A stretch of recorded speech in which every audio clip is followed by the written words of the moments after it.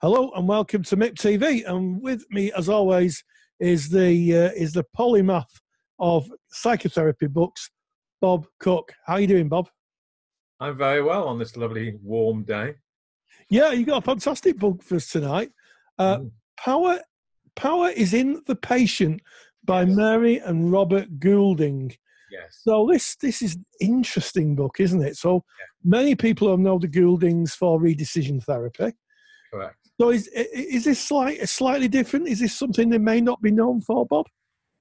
No, this is uh, this is again about redecision psychotherapy. This book, right? Um, we go back 60, 70 years, 1973. So it's a it's it's got its vintage. You know, we're going back into history.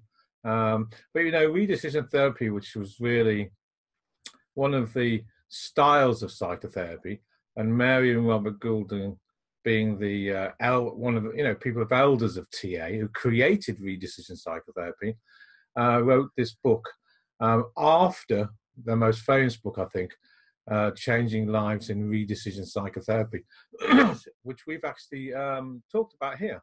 So this yeah. is their second book. And what I like about this book particularly is, which, which is why I'm bringing it here. Uh, besides, you know, I like talking about redecision psychotherapy.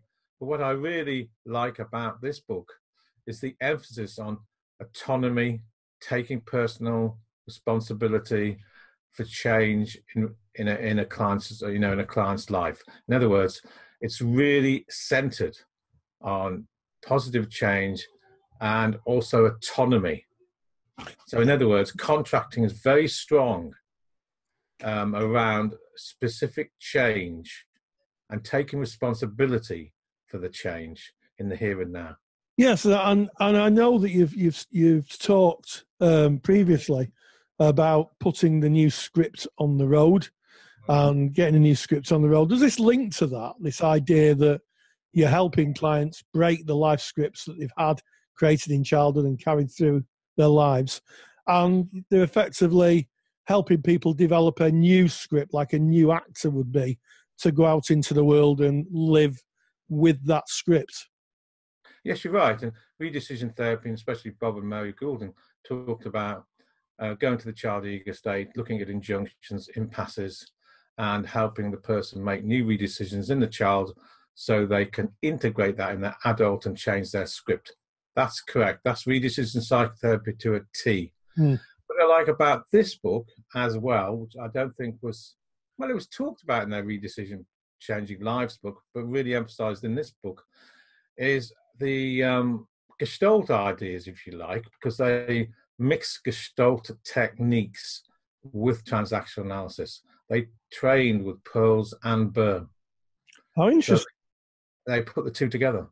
Oh, interesting. So, how, what aspects of Gestalt would they draw on in terms well, of working working with clients? Yeah, the idea of personal responsibility for change, mm. the idea of um, really encouraging autonomy, the idea of con- confronting words like try, uh, should, uh, must, can't. They would uh, they would call that a con into a person's victim state. Mm. So they would confront that and ask them to change their language to will mm. and much more a sense of autonomy. Um, they would confront any a vict- what we call victimary behavior, and they would also encourage Gestalt experiment, um, especially around the you know what people call the top dog and the underdog, yes. and the dialogues talking to each other.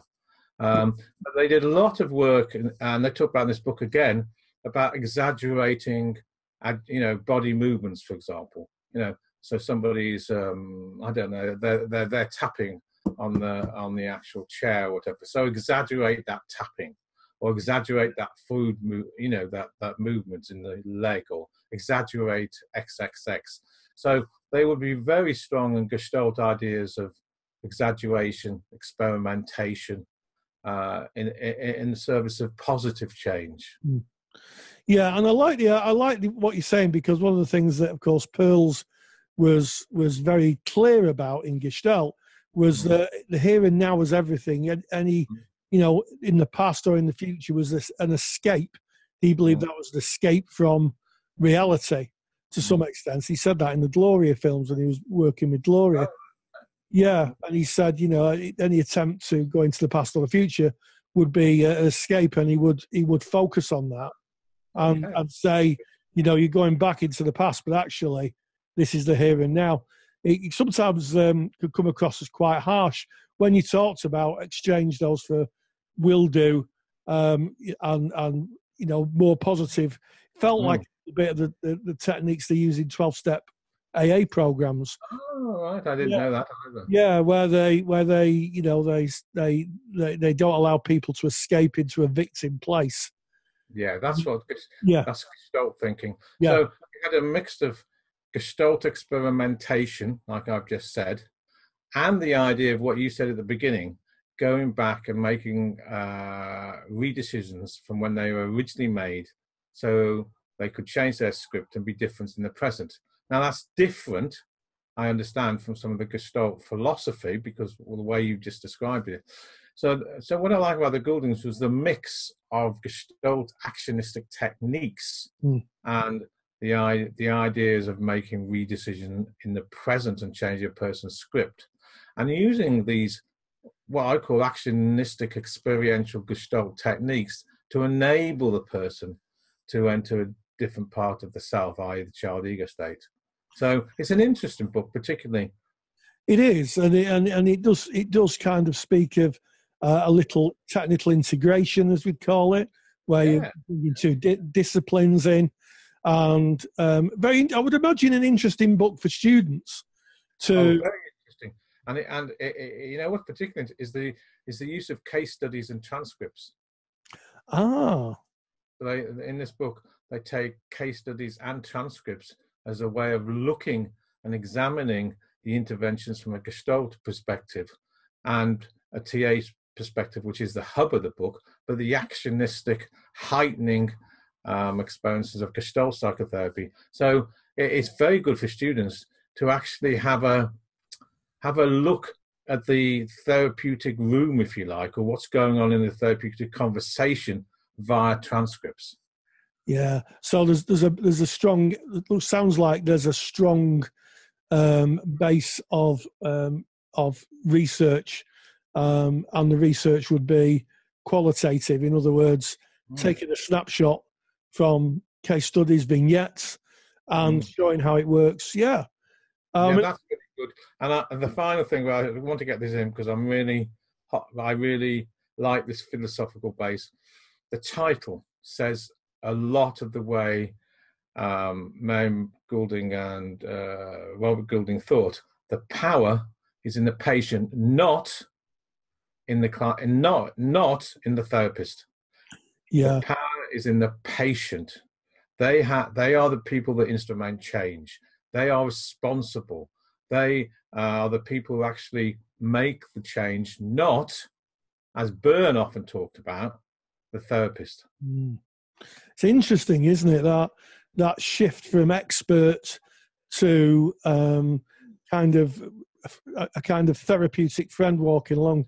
There's a there's a smattering of Rogers in there, I think, from that dusting of Rogers. I mean, he was, you know, Rogers came along in the 1950s. He was the real giant of the humanistic revolution. So I'm sure they will have met and I'm sure they will have been influenced by Rogers as much as they were influenced by Berne and, of course, yeah. Gestalt, you know, therapy and Perls. So yeah. they they will have really ha- ha- had a huge uh, amount of influence these giants on them, and of course they became, you know, giants in their own way. Uh, Mary and Robert Goulding and were, you know, elders in the TA movement and helped shape the TA movement to where it is now. But I particularly like the title of this book and the philosophical, uh, humanistic ideas of the, the, the change being in, in, in the actual client and not in the expert therapist. And I, I, I really come from that place myself. Yes, yes, and I think it's interesting. You said the book was published in 1973. Yeah, yeah. And and if we think of when the relational turn came in transactional yeah, analysis, that was a long time afterwards. So there's a, an acknowledgement about moving from an, you know, from being the expert to to trust in the client. You use the word autonomy. The idea yeah. that the client knows best and can can self generate is is a fascinating one, from, even from a historical perspective. Mm-hmm. And I hope students reading this book reflect on this. Yes. Because quite often students get, I won't say carried away, but they can actually, um, yeah, I suppose carried away with their ego and believing they are the uh, experts in inverted commas, but actually the change it resides in the client. And if there's no motivation for change, no responsibility for change, it won't happen. Yeah, yeah. in my opinion. Yeah, yeah. Oh, I think I think the evidence is is uh, is right. Rogers did some research at Wisconsin, and um, and the, that came up. Motivation to change mm. was the one of the key factors in in people wanting to. So we'll tell the name of this book again. The power is in the patient. Mary and Robert Goulding. We'll put a uh, we'll put a link below. So click on to the link below, and you can go and examine the book. As always, Bob doesn't get paid for book reviews. This isn't an endorsement or a paid book review. You didn't even get a free copy of the book. Um, Bob is just showing his love of, of love of literature. So, Bob Cooke, thank you very much. Thank you.